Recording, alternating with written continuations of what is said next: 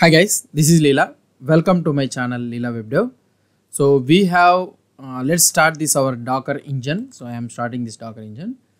So in our previous video we have successfully learned about the installation of the virtual machine and also the installation of this Ubuntu server. Now it's time for us to install the Docker server in our Ubuntu server. So how we can install the Docker engine in our Ubuntu server? Let's try to see it. So if you go to our uh, uh, what I want to say it is uh, in our Chrome and here you can search for the Docker engine install in Ubuntu. Okay? In Ubuntu on Ubuntu anything. So if you try to click on this one. So here the first option you will be able to see the install Docker engine on Ubuntu. So let's try to open this one and here you will be able to see a series of the installation steps how we can do it. So to get started with the docker engine and ubuntu make sure you meet the prerequisites then follow the installation steps. So what are those prerequisites is the os requirements is you need to have ubuntu noble to 24.04 or 23 22 or 20 so right now we are having 24.04 so there is no problem. And uninstall the older versions. So if you are having already docker installed in your system so ubuntu server or anywhere? So first we need to uninstall the older versions. How can we know that the it has been a, it, it is there means so the docker.io docker to compose so these all the types of files will be available. So we need to uninstall this one. For in, uninstallation so they have given the command. So here you need to use sudo apt hyphen get remove dollar package. So these are all the for loop they are lo looping over the for loop and the package in docker io docker doc these all things. And they are removing this one all so that's it. So and also we need to check that whether var slash lib slash docker is available or not. If it is available means then we need to automatically remove. So this uh, aren't automatically removed so we need to remove this one. So by this automatically the docker will be uninstalled in your system. So then here the installation. So there are different ways how we can install the docker engine. So you can install the docker engine in different ways depending on your needs so Docker, Docker engine comes bundled with the Docker desktop. So the Docker desktop we have already uh, seen about this one. It's an enterprise edition. So I already told you that for Linux also Docker desktop is available right now. So this is the easiest and quickest way to get started. But we are learning about the community edition Docker engine. So we will install it manually. Set up and install the Docker engine from Docker's apt repository. So this is through the package manager we will be installing. So right now we will be installing it like this only. Or install it manually and manage the upgrades manually or using a convenience script. So these are the different ways how you can install the Docker engine in your OS. So right now I will be installing the Docker engine through the package manager which is the common usage which we will be doing. So if you want to go with the Docker desktop for Linux means this is the easiest way and you can continue with this one. So let's try to install this one one by one. Before that let's try to on our Ubuntu server. So here this is the Ubuntu server and uh, Docker login is test user and test 1234 right? So now we have successfully logged into this one. So now what is the step first we need to do it is so if you try to see here so the first command what we need to do it is so this is the command we need to copy. So let's try to copy this one. So i have copied this one okay? And i will try to paste it here. So if i try to paste it here so now i am i am not able to paste it here. Why? Because by default virtual machine comes with a uh, connects through a NAT gateway. Okay. So what is this NAT gateway is? So I told you right. So it is connected through a NAT gateway.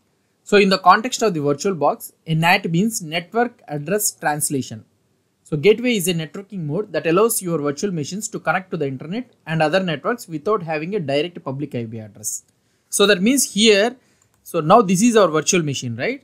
So this one, this one will be automatically connected to the internet, but this one is connected to the internet using the NAT gateway. Oh, this is the NAT gateway. So this NAT gateway, so it doesn't give you the direct public IP address and it will connect to the internet and other networks also. So the, how it works is this is a private network and inbound restrictions will be there. So that means by default the NAT gateway doesn't allow unsolicited inbound connections to the VM making it more secure. So because of this one. So no direct access. So other devices on the internet cannot initiate the uh, connections directly with the virtual machine. So that means whatever the things you are copying from the outside means so you cannot paste it here or you cannot connect it through to the from the external through the NAT gateway. how we can overcome this one is through the port forwarding. So you need, need to configure the port, for, port forwarding rules on the NAT gateway if you want external devices to access specific services running on the virtual machine. So that is one thing. So how we can do this port forwarding is, so let's try to see. So normally the IP address connected for this one is IPA if you try to see. So normally all the virtual machines, the IP address connected will be 10.0.2.15 and it will be connected to the port 22. So this is the common thing which will be connected every virtual machine. So if you have installed the Ubuntu server in your virtual machine means the IP address will be 10.0.2.15 and it will be connected to the port 22. And what I will try to do is I will try to do the port forwarding. So that means, so here uh, where we can do this port forwarding is, so let's try to go here inside this one. And let's open this virtual box. And this is our uh, box running right? And let's go to the settings. And here if you try to see the network and it is connected to the NAT gateway okay? So we are having so many things but it is connected to the NAT gateway.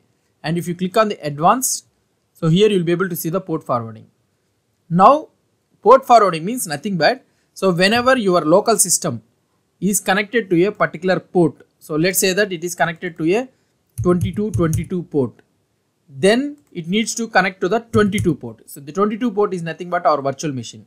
So that means whenever any user connects to this 2222 port automatically this um, that will be redirected to the virtual machine. So that is the route i am trying to do so i am telling to the docker engine or the virtual box that whoever connects to the external virtual uh, the host machine 2222 port means it should be connected to the 22 port of yours. So that means okay and we can give the okay. And before doing this one if you try to uh, let's try to remove this one i will try to show you. Um, advanced and port forwarding and i will remove this one okay. And if i try to connect this one through the external uh, things like putty or anything. So if i try to use the putty you can install the putty directly you can install it. So you can search for the putty download. So putty download for windows. So you directly you can download the putty and free SSH and telnet client for Windows. And this is the putty and I told you right the host name is 10.0.2.15 and the port is 22 automatically. And if I try to click on the open so right now I cannot connect it why? Because from the external device I am connecting to the virtual machine so I cannot able to make a connection. Why? Because because of the NAT gateway. So NAT gateway doesn't allow you to connect from the external device to the virtual box. So now what I need to do is I need to allow the port forwarding so that I will connect to the 2222 port to the see connection time dot. So what I will try to do it is so here in our in this one here let's go to the settings and in these settings um, where is this network available? Yeah. And here in the advanced so I will go to the port forwarding here. And in this port forwarding I will click on the plus. And here I am telling that whoever connects to my host system for 2222 it needs to be connected to the virtual machine that is available in the 22 port. So that's it. Now if I click on OK and OK and now let's try to open the putty. And this putty is not connected. So let's try to click on the putty and here I will be right now right now I, I should not use the 10.0 point this one so I need to connect to the local host and this should be connected to the port 2222 so local host is nothing but our local system. So whenever I try to connect to our local host there is nothing but 127.0.0.1. And whenever I connect to this local host to the port 2222, it will be automatically connected to the virtual machine which is available in the 22. So that is nothing but we have added in the port forwarding settings. Now the port will be uh, now the port will be forwarded to the 22. Now if I click on the open, make sure that the Ubuntu server is on. So this box is on or otherwise it will not connect and now automatically it will, it will be asking us login as so with which user you want to log in so i can give the test user test user and the password it will ask test1234 so this is the password i have kept it and automatically it has been connected. So through putty it has been connected. So like this you can connect with an external thing. Now you can able to copy paste or anything whatever you want you can do it. And now another way which we can use it the most common thing the people will be connecting is so i will close this one. So the most common way how the people will be connecting is the through the command prompt. So i will be connecting through the command prompt. So run as administrator. So now i have opened the command prompt. So whatever the command prompt it will be it's okay so this is the common command prompt. I have opened it. So now i through the command prompt through, so through your command prompt which is available in your windows command prompt if you want to connect to your virtual box means what you can do it is so you can use the ssh client. So this will be available in your windows. So there is no need to worry. And hyphen p. P means the which port you need to connect. The port is nothing but double two double two.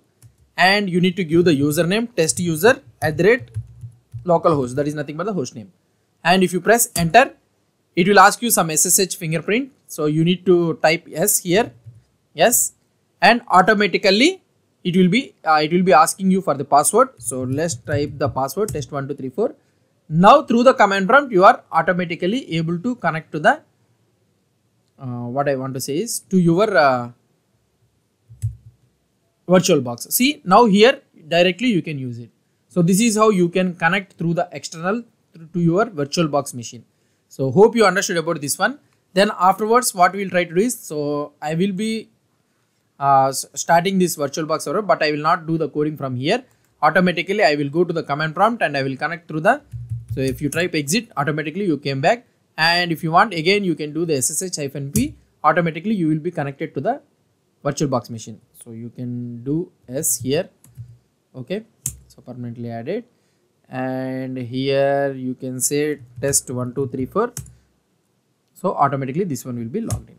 So this is how you will be doing the port forwarding. So you can work on this one. So in the next video what we'll try to do is we'll try to install the docker engine in our uh, ubuntu server. Then afterwards we will try to work on the docker thing. Hope you understood about this nat forwarding thing port forwarding. If you have any doubts or any suggestions please post the comments below to this video. And if you like this video, please do support me by subscribing to my channel. Thank you.